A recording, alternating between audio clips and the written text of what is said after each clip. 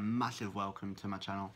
I'm your main man, Just Jack, and this is just a short little video of what my channel is gonna be about and what to expect from my channel. I'm gonna do reaction videos, vlogs, challenge videos, and sometimes content of my day-to-day -day life. My first video is going to be a travel vlog of me, my family and my girlfriend going to Salou in Spain. It was amazing. You've probably seen a trailer already to that of the travel vlog.